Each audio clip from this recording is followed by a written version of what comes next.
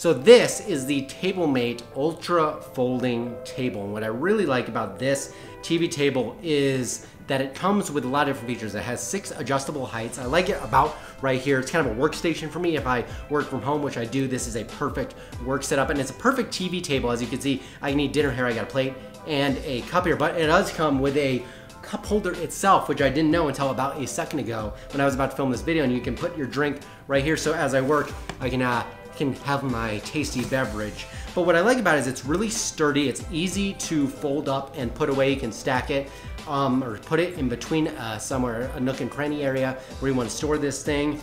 It has quite a bit of space. This is an 18 inch laptop right here, and I have like extra space around the edges that I could put like maybe my phone right here or something of that nature. I have my, my phone case here, but what I also like about it is you can put a tablet. It has a built-in storage container area right here where you can put a tablet and either watch your favorite show, do some extra work, do a FaceTime, do a Zoom meeting, whatever you need to do. You can do it from the sanctity of your home right here. I actually really like how this cup holder slides out of the side. It said there was a cup holder. I was like, where is this thing? It's right here. So I think it's a really compact table. It's adjustable, it's very versatile, and it's super pretty sturdy. Like I'm not gonna accidentally lean on this thing and it collapsed, which has happened with other TV tables that I've liked to do. What I really like about it though is that I can move around the house and do work. I don't have to be stuck at the counter or on my desk down in the basement.